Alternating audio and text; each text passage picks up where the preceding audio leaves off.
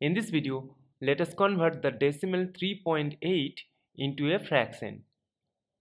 To write down 3.8 as a fraction, at first we will write the number without this decimal point, that is 38, and divide it by 10.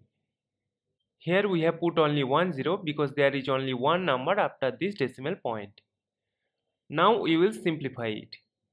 See that we can write 38 as 2 times 19 and 10 as 2 times 5.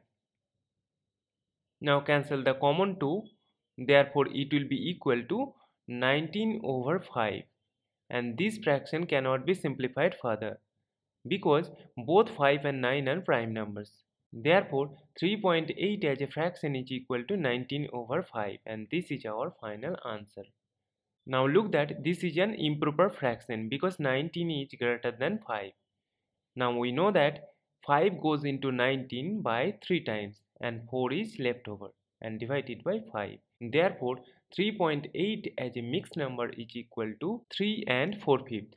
And thank you for watching. Please like, share and comment on the video. Also do subscribe the channel.